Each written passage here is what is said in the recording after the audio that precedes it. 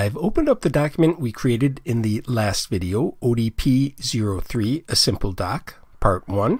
And I'm going to save this as File, Save As, and I will call this ODP04, a simple doc, part 2, and save. The first thing I'm going to do is remove the unneeded text boxes that we created in the last video. I'm selecting and pressing the delete key. And again, selecting and pressing the delete key.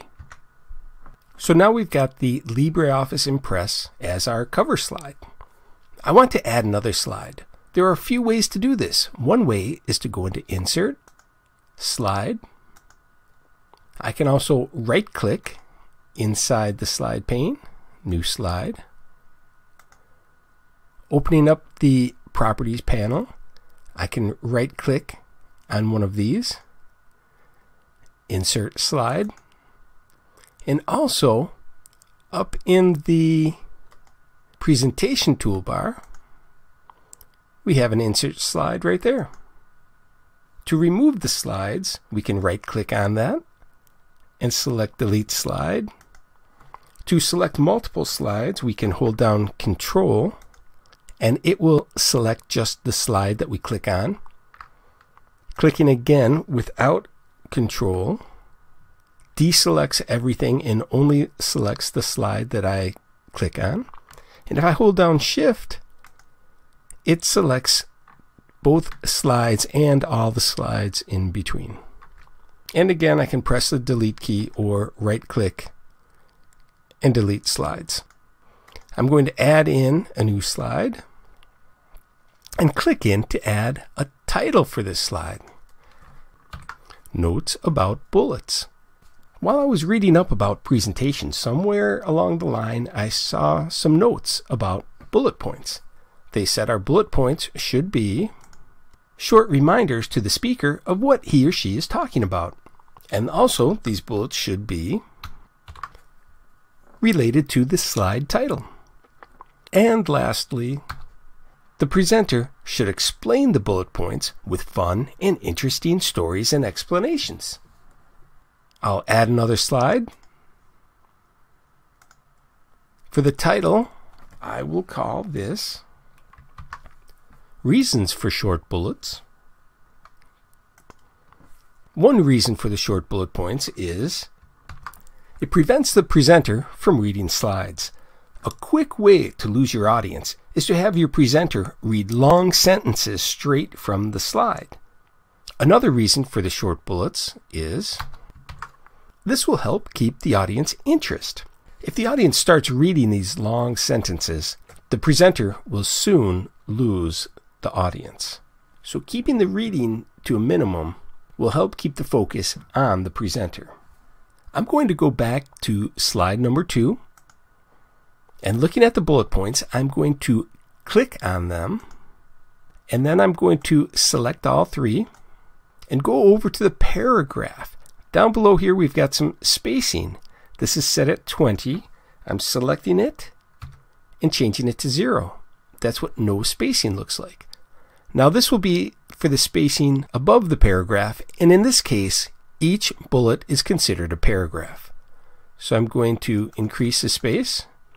And if I do the same thing with this spacing below the paragraph, we don't see much until it gets past the 12, and then it does pretty much the same thing. We don't see a whole lot of difference, but if we had other text on the screen, it would make a difference.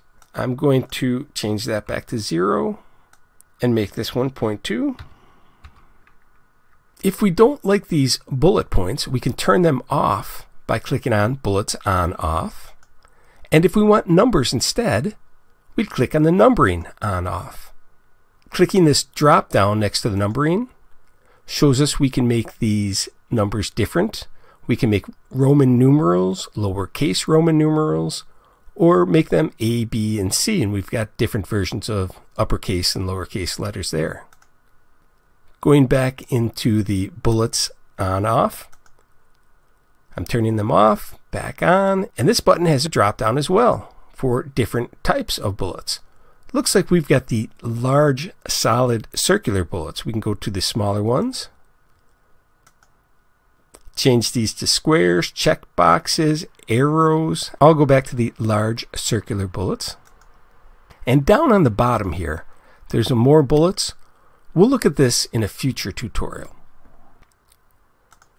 I want to add one more slide to this presentation, and I want it to be a copy of our title slide.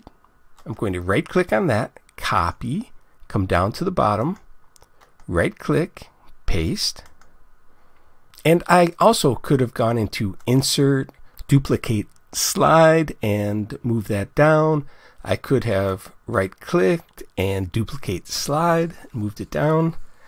In LibreOffice Impress, there's many ways to do the same thing. The right way is the one that works best for you. Instead of saying LibreOffice Impress, I want to make this say, thank you. A lot of times you think when you're done typing, just press enter. This adds in another line. We don't want that. I hit the backspace. And when we're done typing, we click off the text. So there's our simple presentation. But it's looking kind of bland. I want to add some color to this. I'm going to click on one of our bullet slides and come over to Master Pages. Now this is showing us preparing preview. If I click off and then back on, we see our preview. I'm going to put my arrow over one of these and I see this one's called bright blue. Down at the bottom, we see default master slide. If I click on the bright blue, it changed the slide to be bright blue.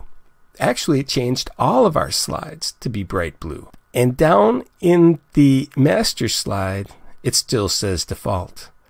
I actually need to click off this to see this change to bright blue. So we see our title of the slide is in blue. If I pick one of these others, I'm going to click on Inspiration. Again, we see the title is highlighted with the green. But on our opening slide and closing slide, this master slide doesn't work so well. So for these slides, I want a different master slide. How I'm going to do that is I'm going to select the two slides that I want to change the master slide for. So I'm going to hold down control and click and then I'm going to come down and right click on this abstract green. I want to apply to selected slides and we see that changes it but I don't like the green background on the text. To change that, I need to select the text, but actually I want to select the text box. So I need to click on that line. Now we've got the blue dots. Now I can come over to Properties. I'm going to the area, and I want to change the color. I'll make this a gradient. And I want to change this to Tango Yellow. I'm also going to do this for our last slide. Click in there, click on the box, change the color to a gradient, and make this tango yellow. So there we have it, our simple presentation. I want to save our new ODP 04, a simple doc part 2. And in the next video, we're going to look at viewing this document as a slideshow. If you like these videos, please tell a friend.